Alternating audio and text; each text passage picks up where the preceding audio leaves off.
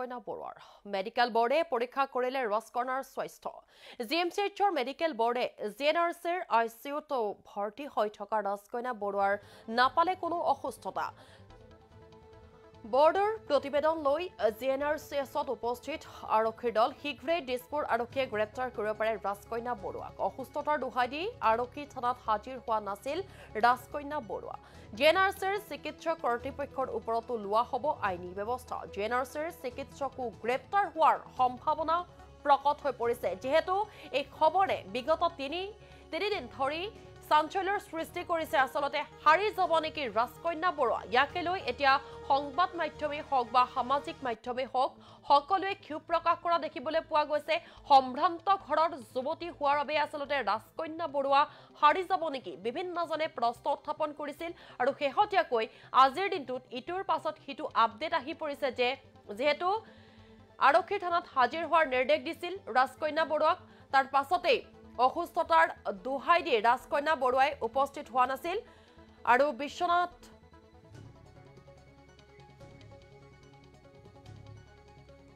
ইতিমধ্যে আমি জনাই আছো সমগ্ৰ এতিয়া ৰাজ্যতে সৃষ্টি হৈছে তীব্ৰ প্ৰতিক্ৰিয়াৰ। ইয়াকে লৈ এতিয়া ৰাজকন্যা বৰুৱা হাৰি যাব নেকি? ভিন্নজনে প্ৰশ্ন উত্থাপন কৰিছে যিহেতু বৰ্ডৰ প্ৰতিবেদন লৈ জি এন আৰ চিত হাজিৰ হৈছিল আৰু শীঘ্ৰে দিছপুৰ আৰক্ষীয়ে গ্ৰেপ্তাৰ কৰিব পাৰে। ৰাজকন্যা বৰুৱাক যিহেতু আমি সেই খবৰ সম্প্ৰচাৰ কৰিছিলো। আৰু আহি পৰিলে আমাৰ হাতত বিগ ব্ৰেকিং নিউজটো ৰাজকন্যা বৰুৱাক গ্ৰেপ্তাৰ কৰা হৈছে। এগৰাকী উদ্ভণ্ডালী যুৱতীক গ্ৰেপ্তাৰ কৰা হৈছে। আমি সেই দৃশ্যাংশ দেখুৱাই আছো। কেনেদৰে ৰাজপথৰ মাজত এক হাহাকাৰ পৰিস্থিতিৰ সৃষ্টি হৈছিল এগৰাকী সুৰামত্ত যুৱতীৰ বাবে। আৰু অৱশেষত আহি পৰিছে বিগ ব্ৰেকিং নিউজটো ৰাজকন্যা বৰুৱাক গ্ৰেপ্তাৰ কৰা হৈছে। আমাৰ হাতত আপডেট আহি পৰিছে। ঈশা নিউজৰ হাতত এই মুহূৰ্তৰ সবাতোকৈ ডাঙৰ খবৰটো যিহেতু গ্ৰেপ্তাৰ হল ৰাজকন্যা বৰুৱা। আমি পুনৰ জনাইছো ঈশা নিউজৰ দৰ্শকক। আহি পৰিছে আমাৰ হাতত সেই খবৰ। ৰাজকন্যা বৰুৱাক গ্ৰেপ্তাৰ কৰা হৈছে। আমাৰ হাতত আপডেট আহি পৰিছে। ঈশা নিউজৰ দৰ্শকক এই মুহূৰ্তৰ সবাতোকৈ গুৰুত্বপূৰ্ণ খবৰটো যিহেতু এইগৰাকী যুৱতীৰ বাবেই আচলতে আঠজন নজনকৈ শ্ৰমিকে বৰ্তমান চিকিৎসালয়ত যুঁজি আছে। জীৱন মৃত্যুৰে যুঁজি আছে আৰু এজন শ্ৰমিকে ইতিমধ্যে তেওঁৰ দুয়োখন ভৰি হেৰুৱাবলগীয়া হ'ল আৰু ৰাজকন্যা বৰুৱাই আৰক্ষীৰ থানাত হাজিৰ হোৱা নাছিল যিহেতু অসুস্থতাৰ দোহাই দি থানাত হাজিৰ হোৱা নাছিল আৰু অৱশেষত আহি পৰিছে যে গ্ৰেপ্তাৰ হ'ল Rajkanya Barua. G N R চিৰ চিকিৎসককো আচলতে খবৰ আহি পৰিছিল যে গ্ৰেপ্তাৰ হোৱা সম্ভাৱনা আছিল আৰু অৱশেষত আহি পৰিছে ৰাজকন্যা বৰুৱা। গ্ৰেপ্তাৰ হ'ল আমি জনাইছো দৰ্শকক ৰাজকন্যা বৰুৱাক গ্ৰেপ্তাৰ কৰা হৈছে। এই মুহূৰ্তৰ সবাতোকৈ গুৰুত্বপূৰ্ণ খবৰটো ৰাজকন্যা বৰুৱাক গ্ৰেপ্তাৰ কৰা হৈছে। মেডিকেল বোৰ্ডে যিহেতু স্বাস্থ্য পৰীক্ষা কৰিলে ৰাজকন্যাৰ আৰু জি এম চি এইচৰ মেডিকেল বোৰ্ডে জি এন আৰ চিৰ আই চি ইউত ভৰ্তি হৈ থকা ৰাজকন্যা বৰুৱাৰ নেপালে কোনো অসুস্থতা। ছয় বৰ্ডৰ প্ৰতিবেদন লৈ জি এন আৰ চিত উপস্থিত আৰক্ষীৰ দল। আৰু যিহেতু শীঘ্ৰেই কিছু সময় পূৰ্বে দিছপুৰ আৰক্ষীয়ে গ্ৰেপ্তাৰ কৰিলে ৰাজকন্যা বৰুৱাক অসুস্থতাৰ দোহাই দি আৰক্ষী থানাত হাজিৰ হোৱাৰ নিৰ্দেশ দিছিল যিহেতু আৰু অসুস্থতাৰ দোহাই দি আৰক্ষী থানাত হাজিৰ হোৱা নাছিল ৰাজকন্যা বৰুৱা। আৰু অৱশেষত গ্ৰেপ্তাৰ হ'ল ৰাজকন্যা বৰুৱা। যিহেতু মেডিকেল বোৰ্ডে পৰীক্ষা কৰিলে ৰাজকন্যাৰ স্বাস্থ্য আৰু যিহেতু ৰাজকন্যাৰ স্বাস্থ্য বৰ্তমান সুস্থ বুলি জানিব পৰা গৈছে আৰু সেইবাবেই গ্ৰেপ্তাৰ গ্ৰেপ্তাৰ হ'ল ৰাজকন্যা বৰুৱা।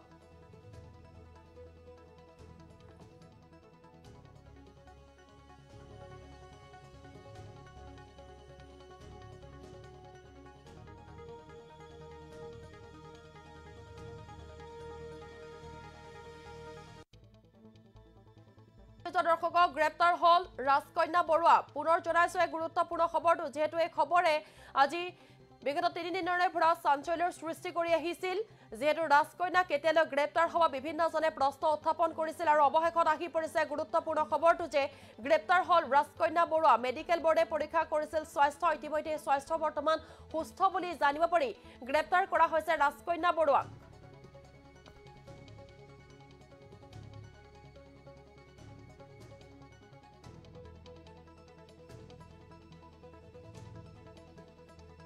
নিশ্চয় নিজৰ দৰ্শকক জনাই আছো। এই মুহূৰ্তৰ সবাতোকৈ গুৰুত্বপূৰ্ণ খবৰটো গ্ৰেপ্তাৰ হ'ল ৰাজকন্যা বৰুৱা। যিহেতু চিকিৎসকৰ দল আহিছিল আৰু তেওঁৰ স্বাস্থ্য পৰীক্ষা কৰা হৈছিল আৰু অৱশেষত গম পোৱা গ'ল যে তেওঁৰ বৰ্তমান স্বাস্থ্য সুস্থ অসুস্থতাৰ দোহাই দিহে আচলতে আৰক্ষীৰ থানাত উপস্থিত হোৱা নাছিল ৰাজকন্যা বৰুৱা। আৰু বৰ্তমান যি বৰ্ডে পৰীক্ষা কৰিলে তেওঁৰ স্বাস্থ্য পৰীক্ষা কৰিলে সেয়া সুস্থ বুলি জানিব পৰা গৈছে। আৰু অৱশেষত গ্ৰেপ্তাৰ হ'ল ৰাজকন্যা বৰুৱা। অধিক জানিবলৈ আমি ফোনযোগে সংযোগ স্থাপন কৰিছো আমাৰ সাংবাদিক অনুপ জ্যোতি নাথৰ সৈতে।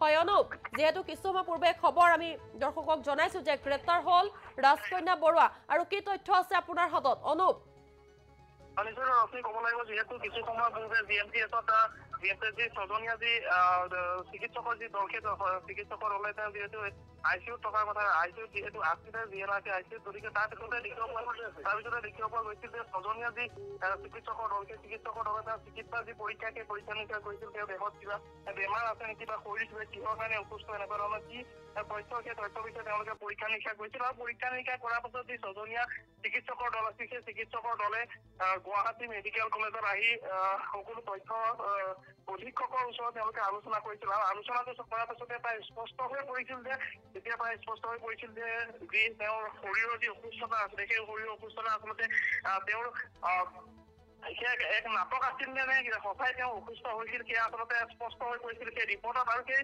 যি ৰিপৰ্ট ছজনীয়া যি চিকিৎসকৰ দল সেই চিকিৎসকৰ দলে ৰিপৰ্ট লৈ আহিছিল আৰু লৈ অহাৰ পিছত ডি এম চি এছৰ অধীক্ষকৰ কাৰ্যালয়ত এখন আলোচনা হৈছিল। অধীক্ষকৰ সৈতে যি ছজনীয়া চিকিৎসক আছিলে সেই চিকিৎসকে যিহেতু ডেৰ ঘণ্টা জুৰি শৰীৰৰ যি পৰীক্ষা নিৰীক্ষা প- শৰীৰৰ যি পৰীক্ষা অসুস্থতা যিহেতু হৈছিল বুলি কৈছে গতিকে শৰীৰৰ অসুস্থতাৰ বাবে পৰীক্ষা কৰিছে আৰু পৰীক্ষা কৰাৰ পাছত যিখিনি তথ্য বা যিখিনি ৰিজাল্ট পাইছিল যি সেই ৰিজাল্ট খিনি লৈ জি এম চি এছৰ অধীক্ষকৰ কাৰ্যালয়ত আহিছিল আৰু কাৰ্যালয়ত অহাৰ পাছতে জি এম চি এছৰ অধীক্ষক অভিজিত শৰ্মাৰ সৈতে যি ছজনীয়া চিকিৎসক আছিল সেই চিকিৎসকসকলৰ আলোচনা হৈছিল। আৰু আলোচনাৰ পাছতে এক ৰিপৰ্ট প্ৰকাশ হৈছিল আৰু ইতিমধ্যে যিহেতু ৰিপৰ্টখন পোৱা গৈছে আৰু পোৱা সেই ৰিপৰ্টতে সকলো তথ্য লিখা আছে যে কি তেওঁৰ শৰীৰ কি অসুস্থ হৈছিল বা তেওঁৰ শৰীৰৰ অসুস্থতা কিবা তেওঁ ভাও জুৰিছিল নেকি এনেকুৱা ধৰণৰ যিহেতু জেলৰ ভাত খাবলগীয়া হ'ব পাৰে নেকি এনেকুৱা এটা বিশেষ চৰ্চা হৈ আছিল বিশেষ চৰ্চা সেই কথাটো হৈছিল আৰু সেই কথাৰ পাছতে আচলতে এনেকুৱা এটা কথা স্পষ্ট হৈ পৰিছে যে যিহেতু তেওঁ সেই ঘটনা সংঘটিত কৰিছিল আৰু এজন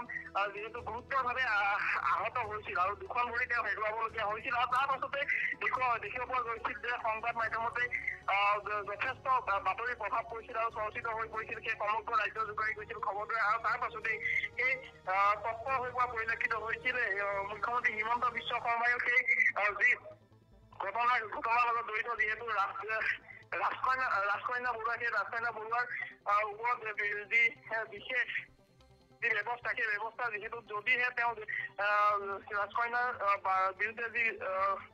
ব্যৱস্থা সেই ব্যৱস্থা ল'বৰ বাবে তৎপৰ হৈ পৰা পৰিলক্ষিত হৈছিল আৰু আহ, আৰক্ষীকে তেওঁ নিৰ্দেশ দিছিল। আৰু সেই নিৰ্দেশৰ পাছতে তৎপৰ হৈ পৰিছিল আৰক্ষী লোকসকল আৰু তাৰ পাছতে যিহেতু দিছপুৰ আৰক্ষীয়ে দিছপুৰ আৰক্ষী তেওঁলোকে কৈছিলে ৰাজকন্যা ৰাজকন্যাৰ তৰফৰ পৰা কোৱা হৈছিল যে তেওঁ যিহেতু অসুস্থ গতিকে অসুস্থভাৱে তেওঁ থানাত আহি উপস্থিত হ'ব পৰা নাছিলে। যিহেতু থানাত তেওঁ মাতি পঠাইছিল কিন্তু সেই থানাত তেওঁ আহি উপস্থিত হোৱা নাছিলে কিয়নো তেওঁ অসুস্থভাৱে আই চি ইউত থকাৰ কথা তেওঁ উল্লেখ কৰিছিল। আৰু তাৰ পাছতে আই চি ইউত কি ধৰণৰ তেওঁ বেমাৰ হৈছিল বা কি শাৰীৰিক অসুস্থ সেই অসুস্থ পৰীক্ষা নিৰীক্ষাৰ বাবে আহ, যি চিকিৎসকৰ দলে সেই চিকিৎসকৰ দলে পৰীক্ষা কৰিছিল। আৰু তাৰ পাছতে কি যি ৰিজাল্ট সেই ৰিজাল্টসমূহ লৈ পেলাই জি এম চি এছত আহি উপস্থিত হৈছিল। আৰু উপস্থিত হোৱাৰ পাছত জি এম চি এছৰ অধীক্ষকৰ লগত যি বৈঠক সেই বৈঠকৰ পাছতে প্ৰায় স্পষ্ট হৈ পৰিল যে কি ধৰণৰ তেওঁ বেমাৰ হ'ল। আৰু তাৰ পাছতে যিহেতু দিছপুৰ সকলো কথা স্পষ্ট হৈ গ'ল। আৰু ইতিমধ্যে যিহেতু ৰিজাল্ট সেই ৰিজাল্ট আহি পৰিছে। আহ, ৰশ্মি। তেওঁ, আহ, উল্লেখ কৰিছিল। আৰু তাৰ পাছতে আই চি ইউত কেনে-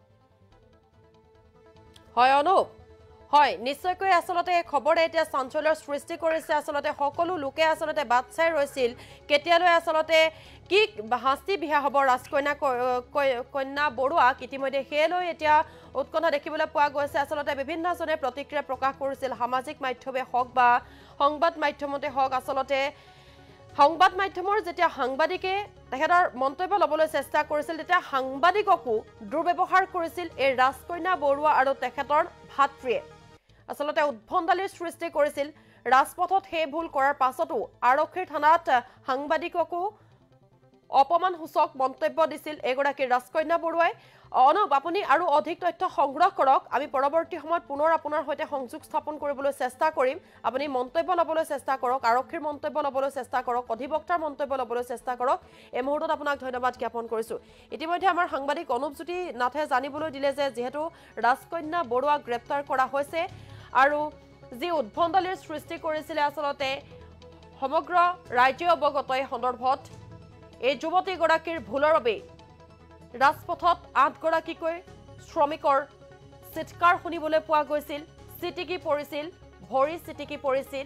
আচলতে তাৰ পাছতেই যেতিয়া আৰক্ষীয়ে থানাত হাজিৰ হোৱাৰ নিৰ্দেশ দিছিল অসুস্থতাৰ দোহাই দি এগৰাকী ৰাজকন্যাই সাৰি যাব বিচাৰিছিল।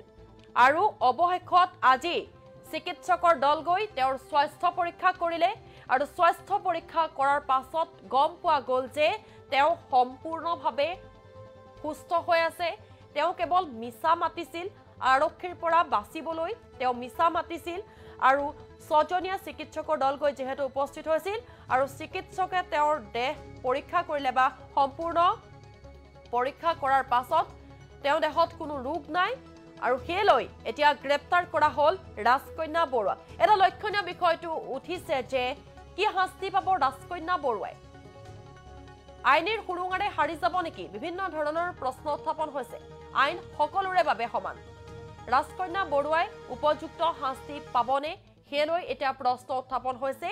কিন্তু এই মুহূৰ্তৰ আটাইতকৈ গুৰুত্বপূৰ্ণ খবৰটো যে ৰাজকন্যা বৰুৱাক গ্ৰেপ্তাৰ কৰা হৈছে।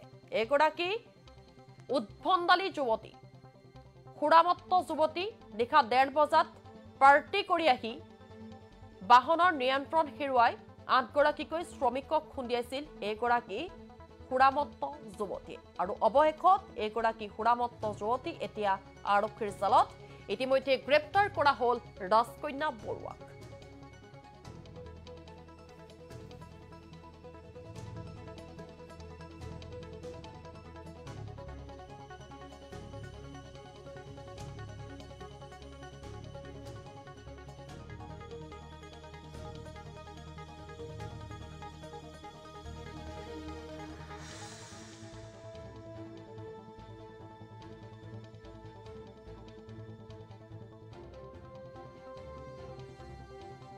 আমি এইমাত্ৰ আমাৰ ডক্টৰ টীমটো উভতি আহিছে। আৰু উভতি আহি পেলাই আমি ৰিপৰ্ট এতিয়া এ চি পিলৈ পঠাই দিছোঁ। আৰু বাকীখিনি কনফিডেঞ্চিয়েল আপোনালোকে তাতে অলপ দেৰি পিছত গোটেইখিনি সেইখিনি আমি মই এতিয়াও কৈ আছোঁ still confidential will not be able to speak about it